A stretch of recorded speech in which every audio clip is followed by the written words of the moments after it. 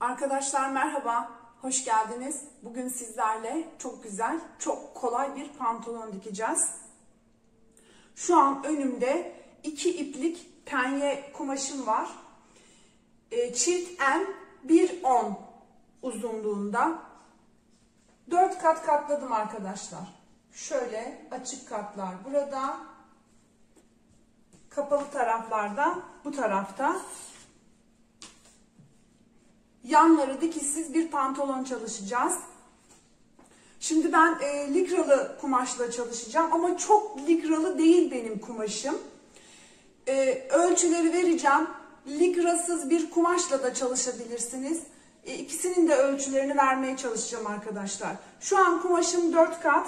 Hemen kumaşımın üst kısmından 8 santim bir işaret alıyorum. Lastikli olacak. Şöyle 8 santimi işaretledim.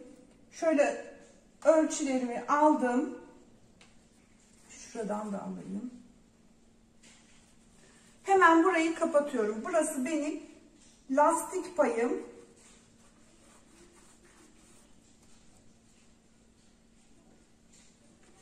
Bu çizgiden aşağıya da arkadaşlar 30 santim oturuş yüksekliği alacağım. Ben büyük beden çalışıyorum.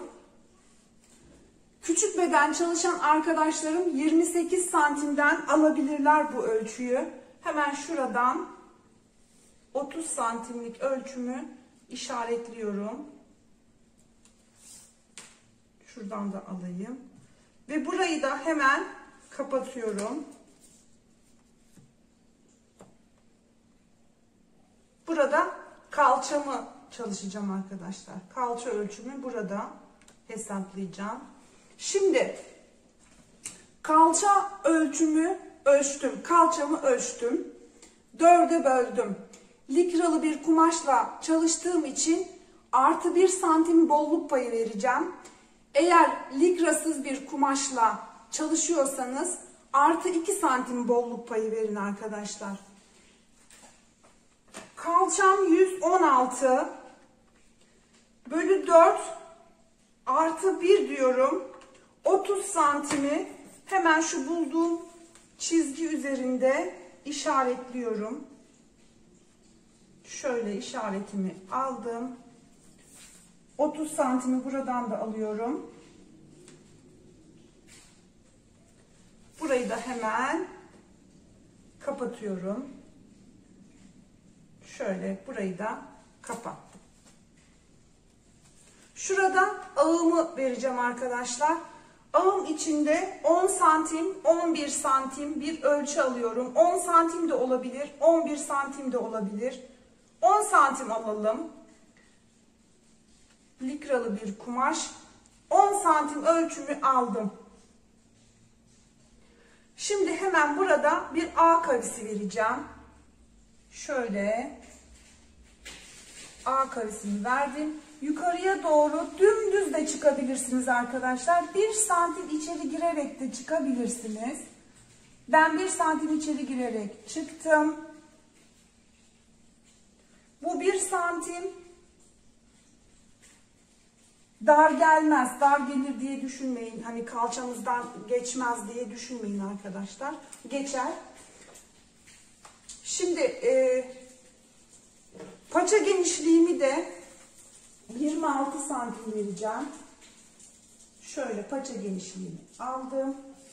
Hemen mezuramı şöyle dayadım.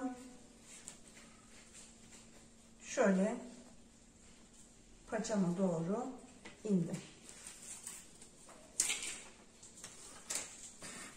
Bir santim pay vererek kesiyorum. 4 kat kumaşımla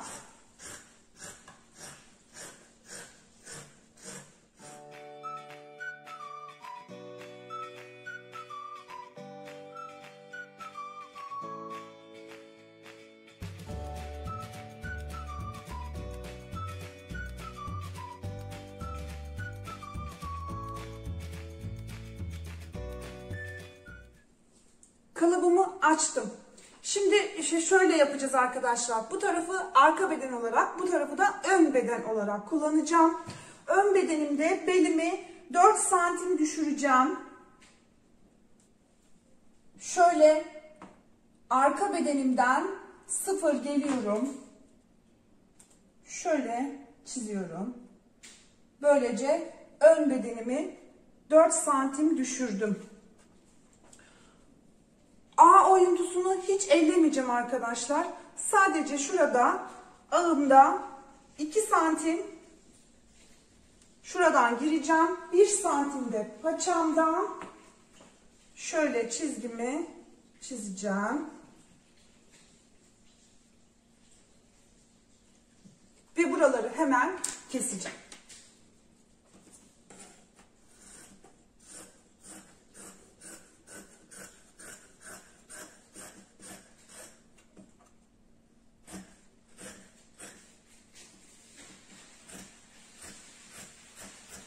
kıvrılıyor.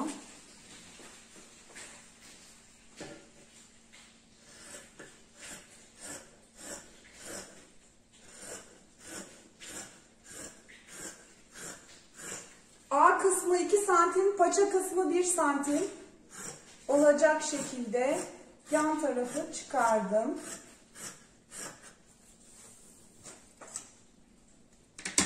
Ön bedenim, arka bedenim. Hemen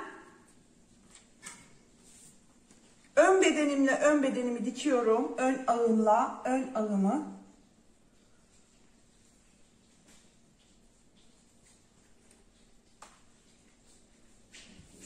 Arka ağımla da arka ağımı.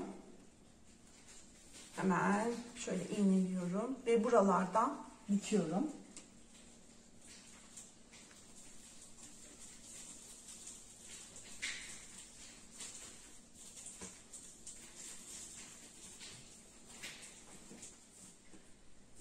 A dikişlerimi kapattım arkadaşlar. Hemen şöyle yapıyoruz.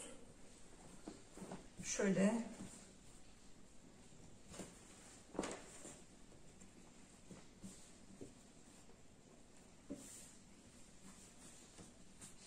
Şimdi iç bacakları dikeceğim.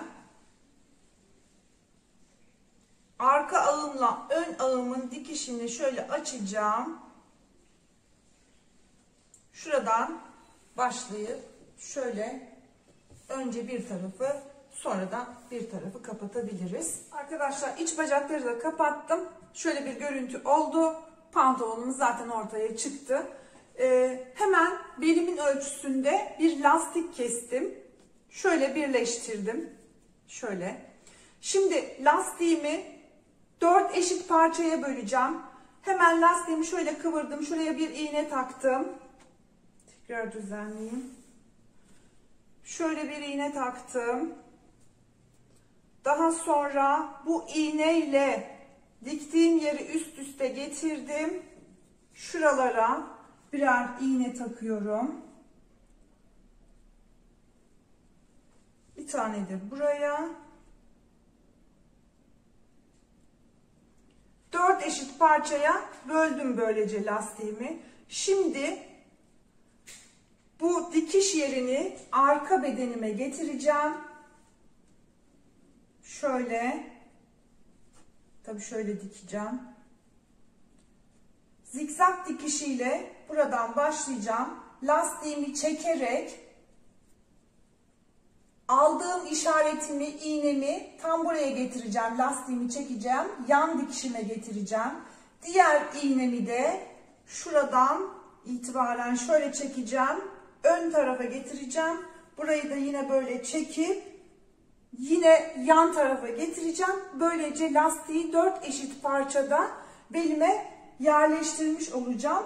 Büzgülerin de eşit düşmesini sağlayacağım bu şekilde. Şöyle olacak arkadaşlar. Hemen zikzak dikişiyle lastiği belime monta ediyorum. Paçalarımı da şöyle önce bir santim sonra bir santim daha kıvırarak spor bir dikiş geçiyorum ve pantolonumu bitiriyorum. Bakalım nasıl olacak.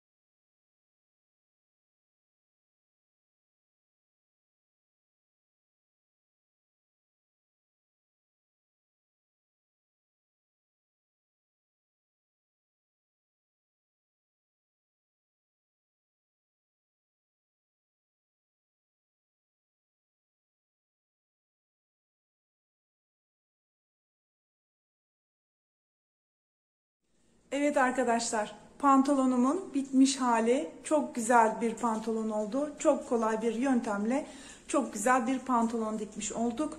Bundan sonraki paylaşımımda da üzerine bir e, tunik dikmek istiyorum uygun tonlarda. Kombinlemek istiyorum. Allah nasip ederse bir sorun, bir sıkıntı çıkmazsa bundan sonraki paylaşımda da güzel bir tunik gelecek. Videomu beğenmeyi, kanalıma abone olmayı unutmayın lütfen. Hoşçakalın.